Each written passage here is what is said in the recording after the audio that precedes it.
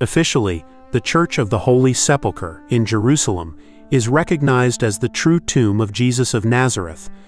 However, there are other currents of thought that claim that he was buried in different places. The location of the tomb of Jesus is more a matter of faith. According to the accounts of the New Testament, the body of Christ ascended to heaven three days after the crucifixion.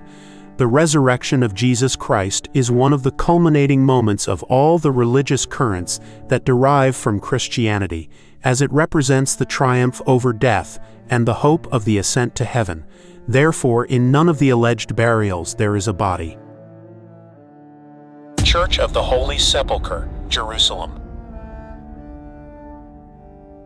The Church of the Holy Sepulchre is located in the Holy Land, Jerusalem. It was built over the cave that tradition marks as the one where the body of Christ was buried, and then rose on the third day. The small temple is under the custody of the Catholic Church, the Orthodox Church, and the Armenian Apostolic Church, and is a meeting point for millions of parishioners who visit it every year.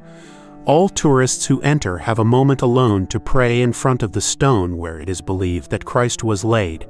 The exact site where the Church of the Holy Sepulchre was erected was determined by Helena of Constantinople, also known as Saint Helena, the patroness of archaeology, between the years 312 and 326.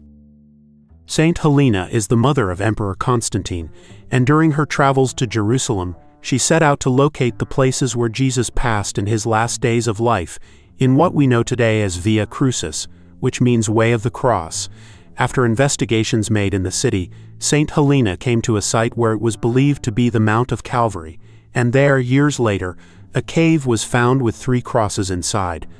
The story goes that to know if that was the tomb, and if any of those crosses was the one where Christ died, St. Helena did a test with a sick person, whom she made touch the timbers, and in the one where he healed, she chose as the Holy Cross.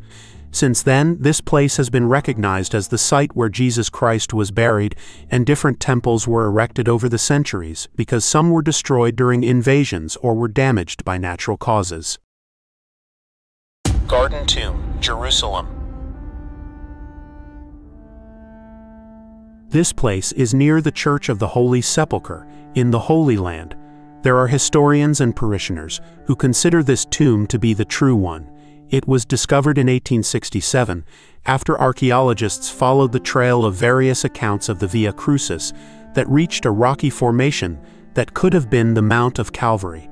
The Gospels tell that Jesus Christ was buried near the place where he died crucified, and in the area where the archaeologists arrived, they found precisely a tomb with characteristics of the first century.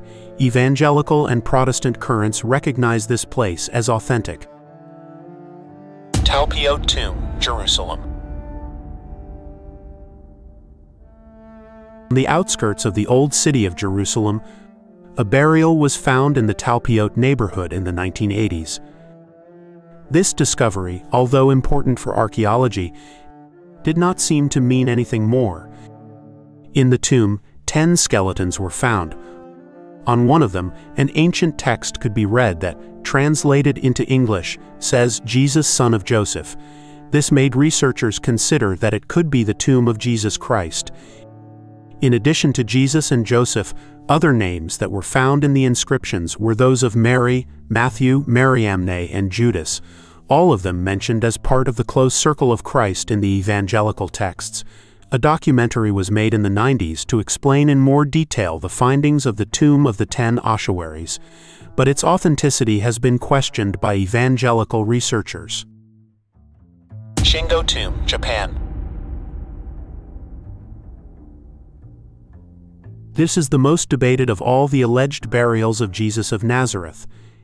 It is a place in Shingo, Japan, where it is believed that Christ lived after the events narrated in the Gospels. The story that is told about it is that Christ did not die on the cross, but survived, left Jerusalem and traveled east until he reached Japan where he settled and made a family. That amazing theory is based on texts found in 1930 known as Takanouchi documents, in which it is narrated that Jesus was not crucified, but that someone else took his place.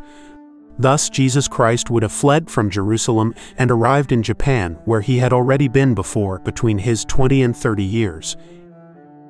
In exile, he lived as a home man, dedicated to the field, and died past 100 years of age, this theory points out.